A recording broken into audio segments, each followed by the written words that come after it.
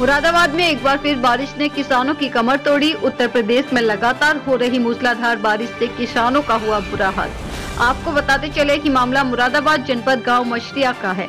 मछरिया निवासी श्यामलाल ने मीडिया के सामने अपनी दुख भरी कहानी बताई। उन्होंने बताया है कि लगातार बारिश होने के चलते खेत में पानी भर जाता है, जिससे काफ़ी भारी नुकसान हुआ है।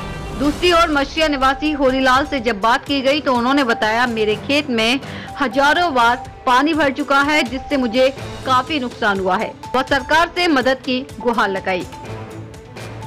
मुरादाबाद से प्रवीण कुमार की रिपोर्ट।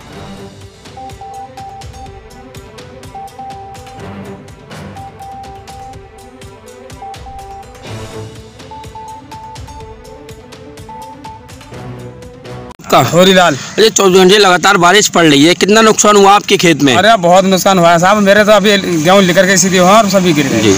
कितने लगभग कितने तक का नुकसान हो गया होगा? तीस है वो तीस बीघे गेहूँ गिरे हुए हैं। अच्छा। सब तीस बीघे गेहूँ गिर गए मेरे। अच्छा। और जो है उनमें जो है दाना नहीं पड़ेगा। जी जी। उनमें दाना नहीं पड़ सकता। जो आपको तीस बीघे गेहूँ का नुकसान हुआ है कहीं ना कहीं इस बारिश से आपको नुकसान है। हाँ बहुत नुकसान है। अच्छा। हाँ। ठीक। इसमें आपका श्यामलाल। अच्छा ये आपको चौबीस घंटे लगातार बारिश हो रही है। क्या नुकसान हुआ आपकी गेहूँ की फ़सल में? गेहूँ में साफ़ पानी भरा भरा है, खेत सब गिर गए। अच्छा तो सरकार से आप क्या मदद चाहते हैं? आप क्या मदद चाह रहे हैं? आप नुकसान के देख लो आप। जो मुआवजा है आपको मिलना चाहिए। हाँ।